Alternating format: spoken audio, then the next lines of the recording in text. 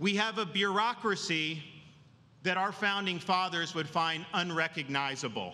It is an unaccountable, weaponized administrative state that unevenly wields authority depending on its targets.